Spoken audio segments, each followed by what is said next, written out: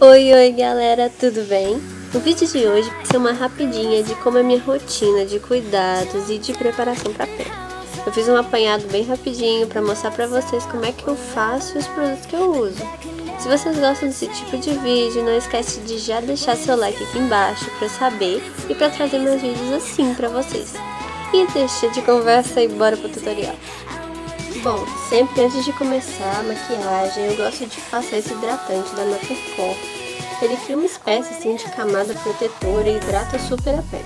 Eu já testei vários hidratantes e esse é meu preferido de longe. É o que dá mais resultado, né? Principalmente porque minha pele é muito seca. Então para quem tem pele seca também vale muito a pena apostar nele. Logo depois do hidratante, eu uso sempre um protetor solar. Agora eu tô usando esse da L'Oreal Fator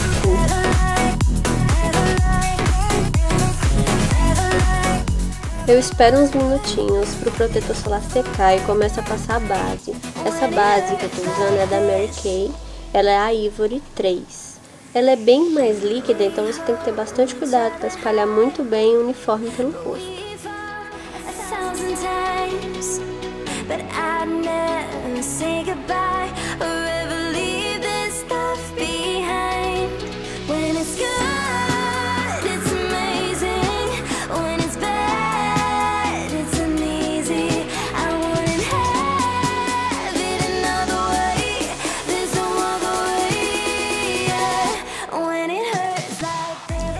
Na área das olheiras, eu gosto de usar muito esse corretivo da Vult.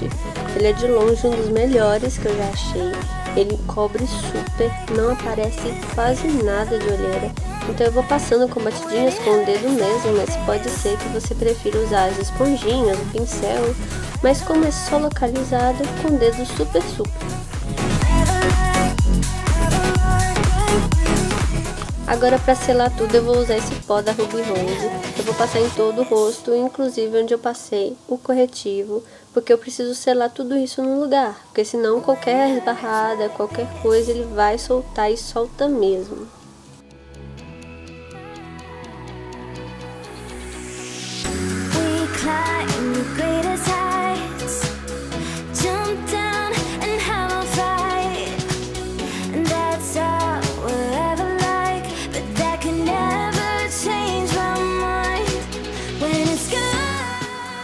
Eu não gosto desse rosto chapado de uma cor só, então eu costumo sempre fazer umas sombras com o próprio pó. Só que eu coloco um pó um pouco mais escuro do que o meu pó normal. Então eu gosto de usar esse 05 da Vult, porque aquele contorno super marcado, muito pesado, eu não gosto muito. Então eu faço um contorno bem leve, com pó compacto mesmo, e super dá certo. E como a gente está falando de uma maquiagem mais leve, que eu costumo usar demais no meu dia a dia, que não tem segredo nenhum para fazer e você não gasta quase e praticamente nada, eu gosto de usar essa sombra Cinnabar. Ela também é da Mary Kay e ela dura horrores. Eu tenho uma que dura mais de um ano, assim, e usando praticamente todo dia. E eu uso bem pouquinho, vocês podem ver, eu dou aquela esfumada no côncavo e só isso. Não faço mais nada na sombra, só esfumo com pincelzinho de esfumar mesmo e só. Dois truques que eu uso todos os dias e que eu acho que dá um efeito super bacana é passar ou um lápis bege na linha d'água, ou então um lápis branco e na pálpebra superior, bem ali rente aos cílios, usar um lápis preto.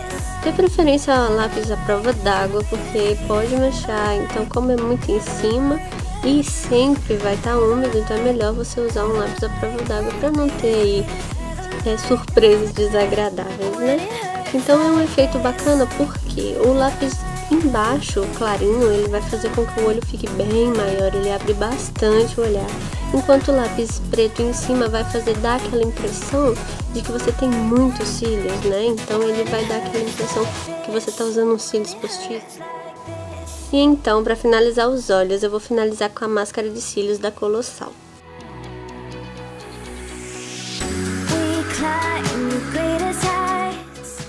Na boca eu vou usar o batom líquido ele é um nude um pouco mais escuro assim. Primeiro eu vou fazer o contorno da boca, porque eu gosto de deixar ela bem desenhada, para depois ir preenchendo no meio.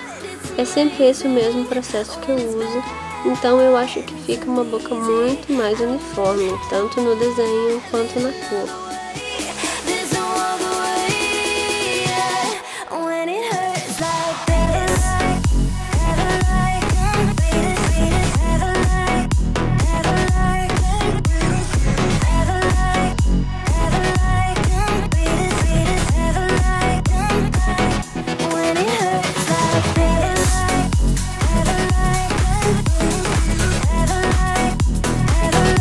Então, galera, esse é o vídeo de hoje. espero que vocês tenham gostado. Um grande beijo e até a próxima!